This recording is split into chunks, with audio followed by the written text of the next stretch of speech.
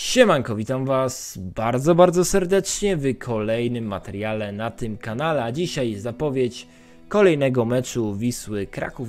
Już jest to trzecia kolejka, także no już troszkę tych, znaczy troszkę, trzy, trzy kolejki już troszkę. No nie, e, ale w każdym razie tym razem Wisła Kraków będzie musiała wygrać albo chociaż zremisować z Pogonią Szczecin. Yy, ale myślę, że tutaj jest szansa na wygranie, bo Pogoń Szczecin to nie jest zespół yy, chociażby sprzed sezonu, tak, sprzed roku. To jest zespół, który gra jednak yy, może nie dużo, ale gorzej. Gorzej ten zespół nie za bardzo się też wzmocnił, o tym zaraz powiemy szerzej, ale wierzę w to, że, że ta przerwa reprezentacyjna też coś zmieni, no bo w coś wierzyć przecież musimy. W końcu jesteśmy tutaj w dużej mierze kibicami Wisły Kraków, więc głęboko wierzę, że tu będzie już naprawdę lepiej, że druga linia będzie funkcjonowała przede wszystkim lepiej i że po prostu gra Wisły będzie po prostu optymistyczna, że tak to, że tak to, że tak to nazwę. Eee, no cóż, ale zanim, e, zanim o Wiśle Kraków, e, zanim o naszej takiej sytuacji, może nie kadrowej, bo dużo się tam nie zmieniło, myślę, że będzie dużo takich przerywników reprezentacyjnych i, jakichś tam e, moich obserwacji, ale też o pogoni trzeba coś powiedzieć. Niedużo, ale, ale powiemy. Powiemy mm, tyle, że zajmują siódme miejsce w lidze, mają trzy punkty, czyli dwa punkty więcej niż my. E, no i oprócz tego sprowadzili Michała Kucharczyka e, do, do, do, do swojego mm, zespołu, klubu. E, no i generalnie mm, to jest wszystko.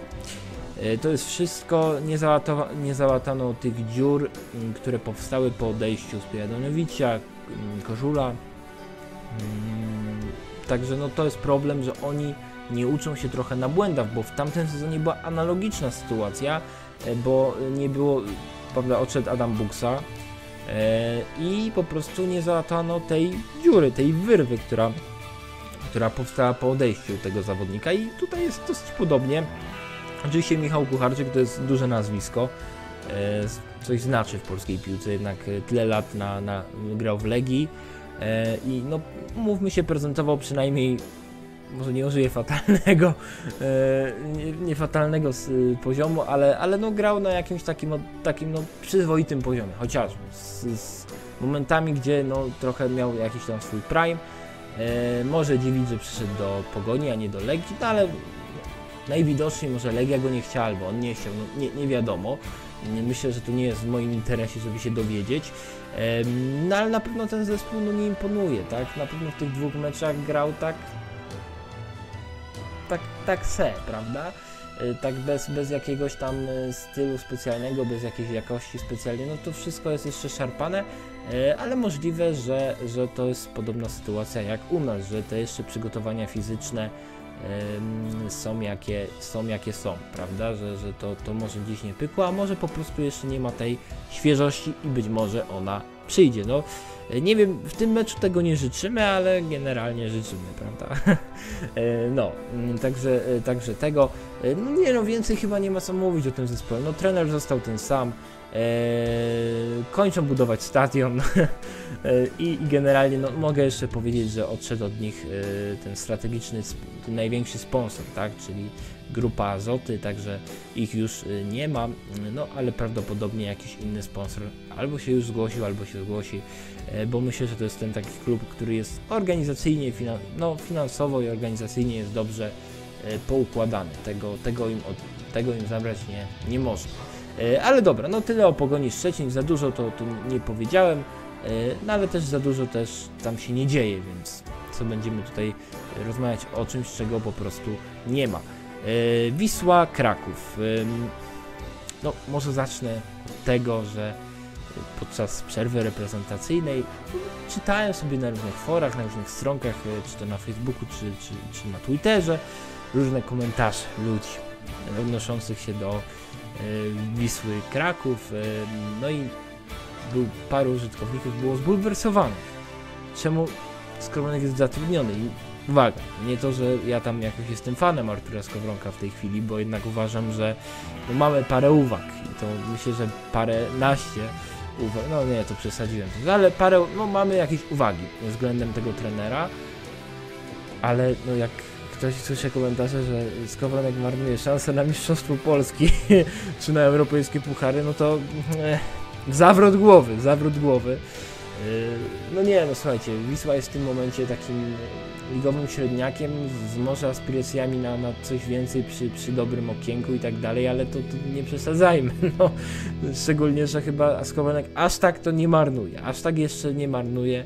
E, także spokojnie. No wiele ludzi myślę, że ma jakieś, jakieś żyje w jakiejś legendzie, w bajce yy, i myślą, że tutaj yy, powiedzą coś z sensem. No niestety z sensem nie mówią ci ludzie yy, i to jest trochę problem. no ale cóż. Może nie wiem, czy to był żart, y, czy to. Y, znaczy, żart by było, jakby to się raz czy dwa powtórzyło, a tu się powtórzyło to wielokrotnie, także no, jestem troszkę lekko e, podłamany, wiesz, to, to, to, to niestety, e, no, no było takie, takie niesmaczne, powiem szczerze, jak to śmieszne, ale jednak niesmaczne. No i oczywiście też wrócili z mm, zgrupowań Oleg Buksa, wrócił też Ojo Kowalski, no ale wrócił również nasza gwiazda Fatos Beciraj. No, mogę wam powiedzieć tak. Strzelił bramkę, zwycięską bramkę, dodam jeszcze, e, no ale była to bramka rzutu karnego. Nie? Co prawda, wiecie, tam wytrzymał presję, strzelił bramkę, prawda, to była gdzieś tam 90 minuta, prawda, w tych okolicach.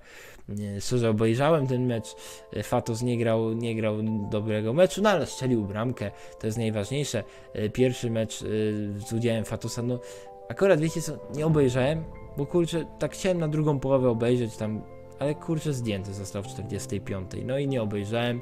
Widziałem tylko jedną powtórkę, jak zmarnował sytuację, no taka dosyć dogodna, ale jedno trzeba mu przyznać, że on faktycznie dochodzi do tych sytuacji, tylko później pojawia się problem, jak je wykończyć. No to, to, to, jest, to jest ten problem e, i nad tym chyba e, trzeba popracować u Fatosa, no i też pewnie nad brzuchem, bo to, to tutaj, też to, e, ten aspekt fizyczny kuleje. E, ale to oczywiście tak żartobliwie tutaj podeszłem do tego tematu, zero powagi, tylko po prostu, żeby, żeby jakoś może zaczepić, e, albo po prostu, żeby jakoś urozmaicić e, ten materiał. Ale był sparring y, Wisły Kraków. Y, on dużo nam nie wyjaśnił, bo to był taki ze stalą miez, ale taki bardzo sparring y, luźny bym powiedział, gdzie Artur Skowronek szukał rozwiązań. Tak w ogóle mógłbym zatytułować ten film. Artur Skowronek szuka rozwiązań, ale, yy, ale prawdopodobnie będzie w ten sposób, że będzie po prostu yy, zwykła, zwykła zapowiedź meczu i tyle. Tak jak to zawsze mam e, w zwyczaju. Ale faktycznie szuka tych rozwiązań. No, jego pomysł był taki, że przez pewien okres czasu tego meczu, tego sparingu, Wisła grała na, znaczy środek obrony był, był z Maćkiem Sadlokiem.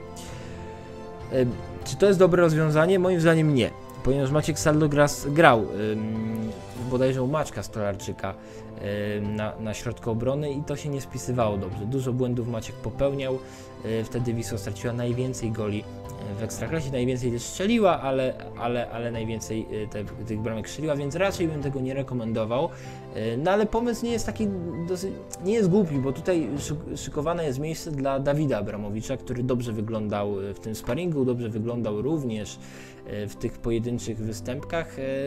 Także no, może to jest w tym jakiś sens. Widać, że szuka jakichś rozwiązań trener Skowronek, ale czy to jest do końca dobre? Nie wiem. Dla mnie kluczem, żeby Wisła zaczęła grać lepiej, to jest przede wszystkim świeżość tego zespołu, to, to po pierwsze, y, a po drugie druga linia. Tu, tu się wszystko zacznie. Dlaczego tak dobrze, yy, dlaczego był taki dobry początek yy, tej rundy wiosennej w tamtym sezonie? Bo ta właśnie druga linia była potężna, nam się nie dało przejść. On, to rozgrywanie piłki, no to było coś naprawdę cudownego i mam nadzieję, że w końcu to wróci i Wisła będzie prezentowała fajny, wysoki poziom. Na to wszyscy liczymy.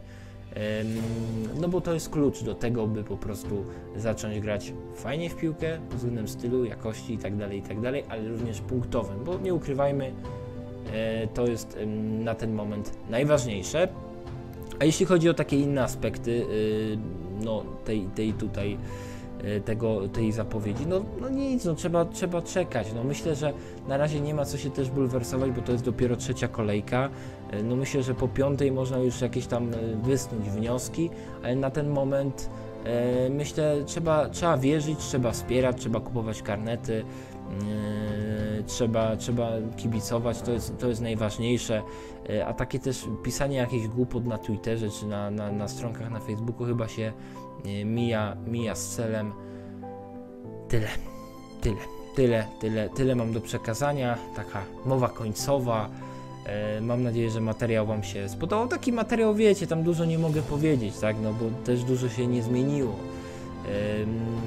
Możliwe, mogę jedynie tyle powiedzieć, że może Adimeremić będzie gotowy, więc y, tutaj no, zwiększy, ta kadra no, powiedzmy nie jest aż tak bardzo okrojona, e, więc no, mam, mam nadzieję, że tutaj trafi ze składem Artur Skowronek i my będziemy się mogli w niedzielę około godziny 17 cieszyć z zwycięstwa. Przypominam, niedziela, godzina 15, mecz z Pogonią Szczecin.